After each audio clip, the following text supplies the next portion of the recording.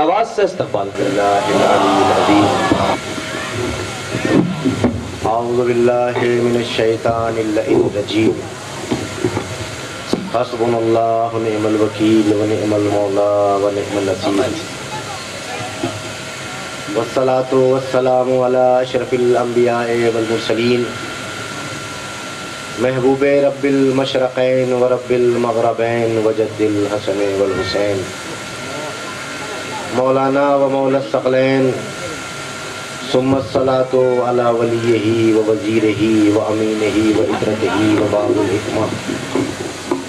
و ناطق الحجت سید المرسلین، امیر المومنین، علی ابن ابی طالب. صلی اللہ غالب کل غالب، مطلوب کل طالب، امام المشارق والمغارب. سیدنا و حبیب قلوبنا و طبیب نفوسنا مولانا بالقاسم محمد.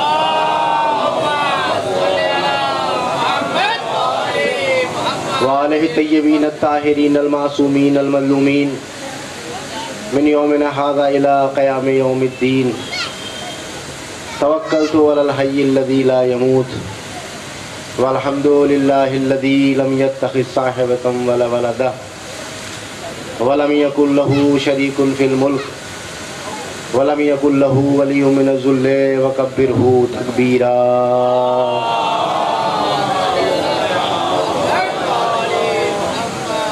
بسم الله الرحمن الرحيم. قال رسول الله صلى الله عليه وآله وسلم، فاطمة بزعة مني، ایک صلوات بھیجے ملیون کے بعد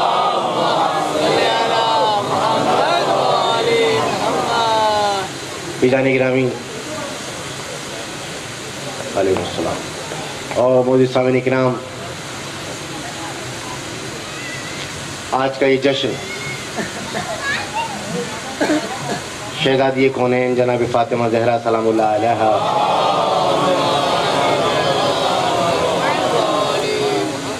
میں تمام مومنین کی خدمت میں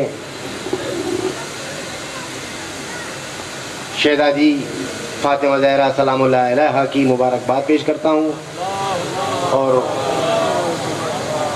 خصوصاً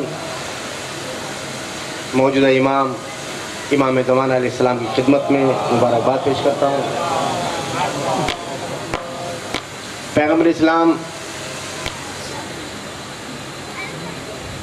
جن کی اکلوتی بیٹی جناب فاطمہ زہرا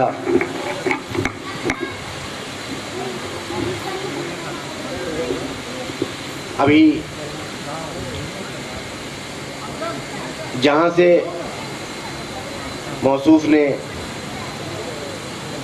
بات کو چھوڑا ہے کہ پیغمبر اسلام تعظیم کے لیے شہزادی کی کھڑے ہو جاتے تھے۔ یقیناً پروردگار عالم نے شہزادی فاطمہ زہرا کو جو مقام دیا، جو منصب دیا، جو عہدہ دیا، وہ کائنات میں کسی کو نہ دیا۔ اگر پیغمبر کو رحمت للعالمین بنا کر کے بھیجا، تو شہزادی کو سید النساء العالمین بنا کر کے بھیجا۔ تو بات یہاں پر عدیدان گرامی اگر پیغمبر اسلام بیٹی کے لیے کھڑے ہوتے تھے، تو کائنات میں یہ سنت پیغمبر ہو جاتی کہ ہر باپ اپنی بیٹی کے لیے کھڑا ہوتا۔ لیکن پیغمبر اسلام بحیثیت بیٹی نہیں کھڑے ہوتے تھے، بلکہ عہدہ عہدے کے لیے، منصب منصب کے لیے۔ اور تاریخ نے یہاں تک لکھا کہ بطول کے عصمت کا وزن اتنا تھا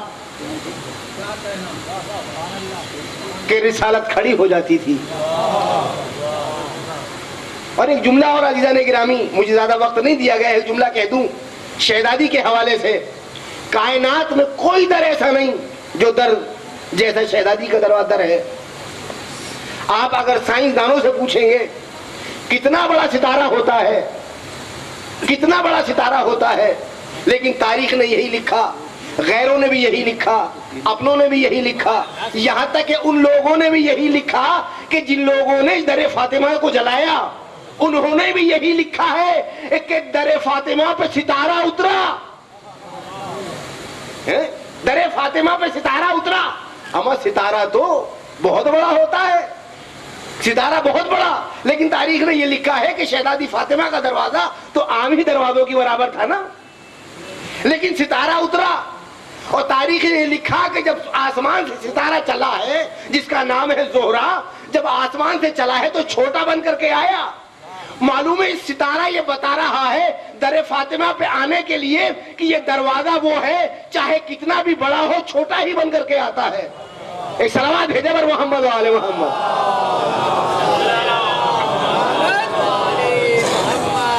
چاہے کتنا بھی بڑا ہو اس در پہ چھوٹا ہی بن کر کے آنا ہے۔ شہدادی فاطمہ زہرہ کا مقام شہدادی فاطمہ زہرہ کا مرتبہ اتنا بلند ہے۔ آپ حدیث کسی پڑھیے۔ خود قرآن گواہ ہے۔ حدیث پیغمبر گواہ ہے۔ یہی جو میں نے آپ کی خدمت میں پیش کیا، فاطمہ میرا ٹکڑا ہے۔ یہ فضیلت کا ایک سمندر ہے۔ اس کی جتنی تشریح کی جائے کم ہے۔ پروردگار نے ارشاد فرمایا پیغمبر کے لیے کہ اے میرے حبیب، اگر تمہیں پیدا کرنا مقصد نہ ہوتا، تو میں کائنات کو خلق نہیں کرتا۔ اس کا مطلب یہ ہے کہ زمین پیغمبر کے لیے بنائی، آسمان کا شامیانہ پیغمبر کے لیے لگایا، یہ قندیلیں پیغمبر کے لیے، یہ ہوائیں پیغمبر کے لیے، یہ سلسبیل پیغمبر کے لیے، سب کچھ پیغمبر کے لیے۔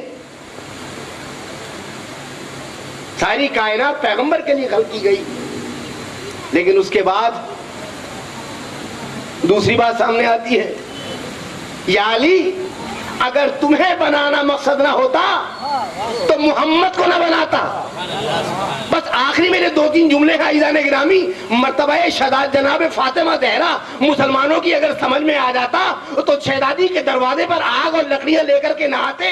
کچھ مورخینوں تو یہاں تک لکھ دیا کہ بھئی پردہ تھا، دروازہ نہیں تھا۔ کیوں چھپا رہے ہو؟ کیوں پردہ پوشی کر رہے ہو؟ بھئی اگر دروازہ نہیں تھا، پردہ تھا تو پھر کچھ گرا بھی نہیں۔ پھر کچھ ہوا بھی نہیں۔ یہ کون سا اتحاد ہے؟ یہ اتحاد نہیں ہے۔ یہ جہنم کی آگ ان کو بلا رہی ہے اپنی طرف۔ یہ انہیں جہنم کی آگ یا تو کہیں نہ کہیں کوئی نہ کوئی کمی ضرور ہے۔ جس کی بنیاد پر یہ لوگ کہہ رہے ہیں۔ لیکن شہدادی فاطمہ دہرا کا جو مقام ہم مرتبہ ہے عزیزہ نے گرامی، پیغمبر فرماتے ہیں پوری کائنات پیغمبر کے لیے خل کی گئی۔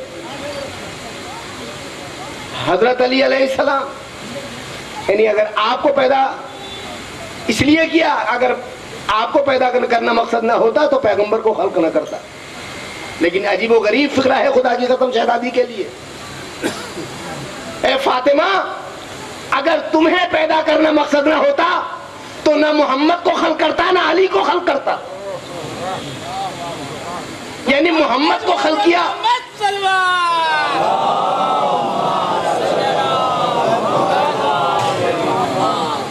مصطفیٰ کو خل کیا مرتضی کے لیے۔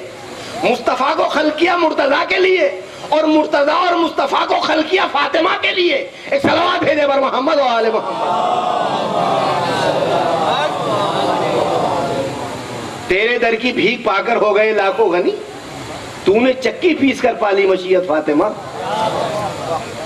تو نے چکی پیس کر پالی مشیت فاطمہ اور ایسی آتی ہے تیری چکی کے چلنے کی صدا جیسے کوئی ہور کرتی ہو تلاوت فاطمہ جیسے کوئی ہور کرتی ہو تلاوت فاطمہ سلام بھیجے مل کے بابا